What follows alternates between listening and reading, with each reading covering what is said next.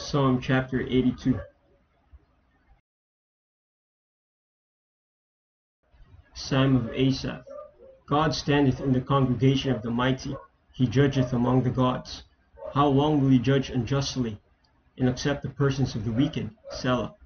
Defend the poor and fatherless, do justice to the afflicted and needy. Deliver the poor and needy, rid them out of the hand of the wicked. They know not, neither will they understand. They walk on in darkness, all the foundations of the earth are out of course.